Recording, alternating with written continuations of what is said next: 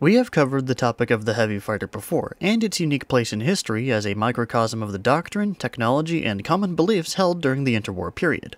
But rarely does a heavy fighter as prestigious as the one we are to cover have the beginning of never having intended to be a heavy fighter in the first place. Before there was the Bristol Beaufighter, there was the Beaufort, and the Beaufort was not a heavy fighter, nor ever dreamed of becoming one. Beaufort was a twin-engine coastal patrol torpedo bomber developed for Air Ministry specification Mi-5 and G-24 in 1935 for a land-based twin-engine torpedo and reconnaissance aircraft. First flying in 1938 with introduction the next year, Beaufort was a medium bomber akin in many ways to the Douglas A-20 Havoc, with its well-rounded flight characteristics. Successful in its intended role, it found a welcomed place in the rosters of RAF Coastal Command, the Fleet Air Arm, and notably the Royal Australian Air Force, who produced 700 examples locally under license, in addition to the 1,121 examples created in Britain. During the Munich crisis, as the RAF was taking stock of their aircraft inventory, it was noted that though the majority of their roles were filled by able designs, the role of a twin engined long range fighter was currently unfulfilled. Bristol realized this urgent need and turned to their successful Beaufort for evaluating the possibility of its conversion into the role, a possibility that was met with glowing remarks from the evaluation given the plane's strength and ability to handle rough fighter maneuvers. To make the Beaufort into a fighter, the conversion included replacing the old pair of Taurus engines with more powerful Bristol Hercules, generating 1,000 extra horsepower altogether. Facilitating these changes included moving the engine nacelles to be center of the wing rather than underslung like in the Beaufort, as the Herculeses used a larger propeller and thus needed more ground clearance. This prototype was then dubbed Type 156, named Beaufighter, and proposed to the Air Ministry, who drafted specification F1137 in response, suggesting the Beaufighter be used as a interim until the Westland Whirlwind, another twin-engine fighter under development, was ready to go. A year later in 1938, Bristol was given the green light to begin earnest development on the Beaufighter. After many trials and tribulations of adapting the Beaufort into a proper fighter, involving adjusting the fuselage to be slimmer, refining the engine mounts to easily swap engines in and out, among numerous other alterations, the unarmed prototype R2052 first flew on July 17, 1939.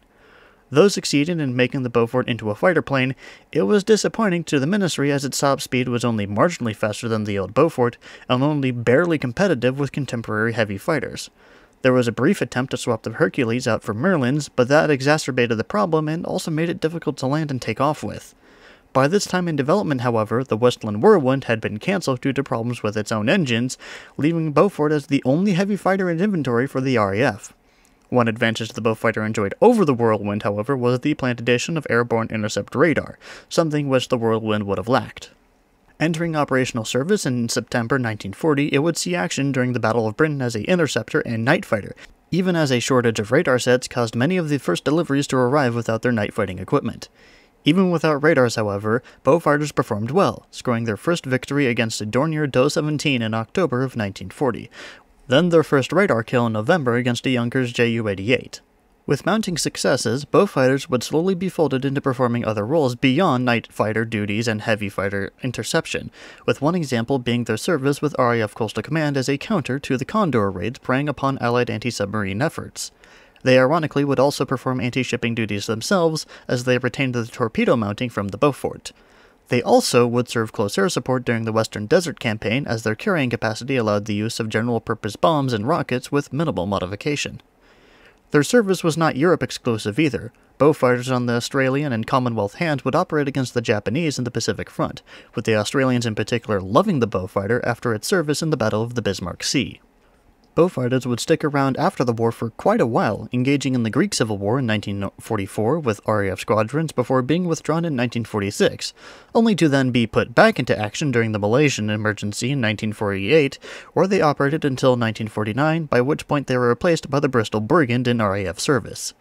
Portugal, Turkey, and the Dominican Republic would use Beaufighters briefly, alongside Israel, who purchased a handful in 1948. A good majority of Beaufighters, however, would find use as target tugs until 1960, when they were finally retired for good.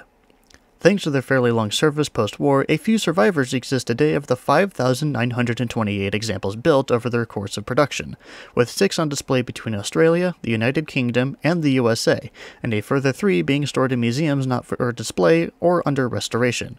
Sadly, no flying examples exist. There, there are five known wrecks of varying condition around the world, some of which are popular tourist attractions or diving locations.